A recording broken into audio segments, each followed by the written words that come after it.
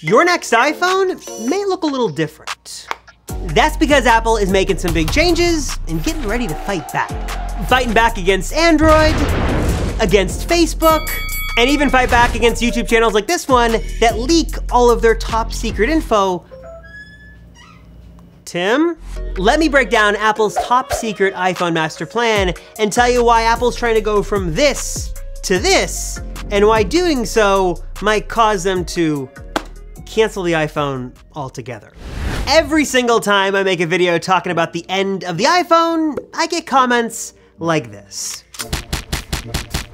Everyone thinks this idea is just crazy, and I get it, but also you're wrong. On one hand, the iPhone is a cultural phenomenon. I don't think Steve Jobs really understood just how big of a moment this would be when he introduced that very first model back in 2007, though he did have maybe a little too much fun making one of the first phone calls. Yes, I'd like to order 4,000 lattes to go, please. No, just kidding. Wrong number, thank you. And one of the most important things about the iPhone is that whether you think it's amazing, or it's boring, or it's gotten stale, it doesn't really matter because Apple doesn't really care what you think. That's because they keep making money. Lots and lots of money. We're talking hundreds of billions of dollars a year just from the iPhone. It's like really thanks to this one product that Apple today is worth like $3 trillion. And that sort of leads to the obvious question, why? If iPhone is making Apple so much money and it's so successful, why would Apple cancel like their biggest product of all time? It's sort of hard for me to explain it in words, so think it's easier if I just show you. So come with me, let me show you what I mean. Okay, you're gonna have to bear with me on my lack of artistic skills and uh, ability here. So let me just have uh, this tape measure uh, equal uh, Apple here. And then um, for the purposes of us, I'll just do a little stick figure guy. How Apple usually likes to do things is just sort of do things their own way. In fact, they sort of just like to have a straight line from us to them so they can have full control over their ecosystem. And what usually happens, let me get more props here, is with the iPhone, for example, they want to make the phone the way they want to do it in their own time frame and get it from them to us in the simplest way possible. But then some things changed and this direct line was sort of broken. And let's just say this is 12 months because Apple usually gave us a new iPhone every 12 months. The next thing that happened was that Apple had some uh, competition that popped up. You had your HTCs, you had your HTCs, you had your Samsungs. The world of Android came about and became competitive enough to influence the iPhone. Apple could no longer just go from here to here and do things how they wanted to. They now had to account for these phones and make little changes throughout the way. Let's get these out of here. You know, these are old phones. Now you've got the new realm of flagships like, uh, give me a second.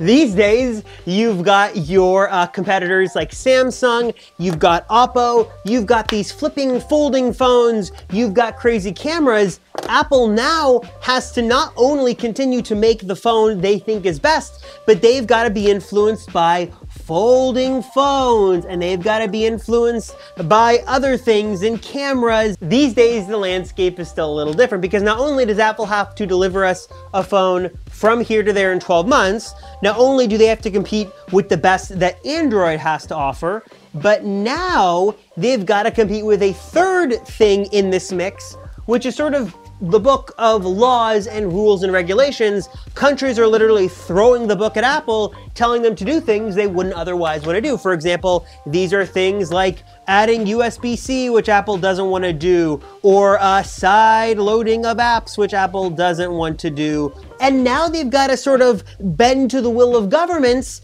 to add USB-C and side loading. They've got to make all these concessions to build an iPhone in 12 months. And now it's gotten to the point where all these rules and laws and regulations are coming into play. And Android's doing, Apple's just saying, look, enough is enough. Not only are they now saying that they may not comply with laws that would require them to have a more easily accessible and replaceable battery in future iPhone models, but when it comes to the UK and iMessage, instead of giving the government a sort of uh, top secret priority backdoor for those conversations, they're saying they would just remove iMessage and FaceTime from the UK altogether, which, if that happened, would be truly unprecedented. I know it seems crazy and it seems impossible, but with Apple, anything is possible. They are well known for holding a grudge. Just ask Gizmodo. If you know, you know. I mean, look at like the past 12 months and see all the concessions Apple has had to make. They're already putting USB-C on every single iPhone 15 model, which despite what they may say publicly, was certainly not part of their plan. They are not happy about that. And also, they're sort of bending to the will of other governments by allowing third-party app stores or sideloading of apps on certain iPhones in certain parts of the world, something that Apple definitely does not want to do but they're sort of being forced to do uh, to comply with these laws and regulations. But with that being said, I still firmly believe that Apple is going to cancel the iPhone. Still think it's gonna happen, but it's not gonna happen because the iPhone is gonna become a flop overnight, but it's gonna happen on their own terms and with the help of this. Vision Pro is not out yet, so I've got my fake Vision Pro on, but you sort of get the idea. This thing it's gonna be the end of the iPhone. Sounds crazy, but trust me, it's gonna happen. The reason Apple made a nearly $4,000 headset is not because they really believe it's the future of computing, maybe that's one reason, but it's certainly not the main reason, but it's because Apple understands and recognizes that they are way too dependent on the iPhone, and as the market is super saturated these days and becomes more saturated as all these phones do the exact same thing every single year, the best way for Apple to compete with the iPhone's downfall is to cause it themselves, building this new ecosystem of mixed reality products and new software experiences is gonna let them have total control and sort of, I guess, control in a sense the actual fall of the iPhone and the rise of their next big thing. As the iPhone has sort of been Apple's crown jewel for nearly two decades now, Apple's hoping that this is going to lead the way. They're hoping that a new storm of accessories and ecosystem experiences and products and apps will revolve around this, and as everyone these days has this, they need something new to buy and something new to sort of hang on to and have as their new shiny piece of tech, and they're hoping that's gonna be this. Think of the hundreds of millions of people around the world that will be buying this for the very first time, that will be buying into Apple's all new augmented virtual reality ecosystem, and really understanding that there is a new Apple ecosystem that they can get involved in, and uh, one that'll give them new experiences. And I will say, as much as it seems like a gimmick, as expensive and as clunky and as weird as these digital eyes guys are the one thing that I've learned as an Apple fan for many decades is to not bet against them. And yes, we don't know if this is gonna be a hit. This is a very big, expensive, risky gamble.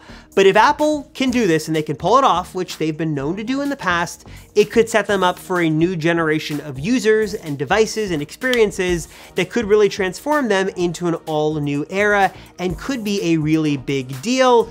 Don't bet against Apple, at least I'm not, because they might just prove all the naysayers wrong. And I'm curious, what are your thoughts on this? What are your thoughts of the end of the iPhone? Do you think the iPhone's days are numbered? Do you think the iPhone 15 has enough to compete? Do you think all phones sort of look and work the same these days? Are you in on the virtual reality Apple headset thing? Uh, does this look as goofy to you? As it does to me because does sort of look crazy. Let me know down below. Soon we'll be doing uh, videos in Vision Pro and Vision OS soon enough. As always, I'm curious about your thoughts about this. Let me know down below. Let me know if you think this is going to replace the iPhone. As always, I appreciate your support. Thank you for watching. I'm Robert Rosenfeld from the Apple Circle. I'll see you all in the next one.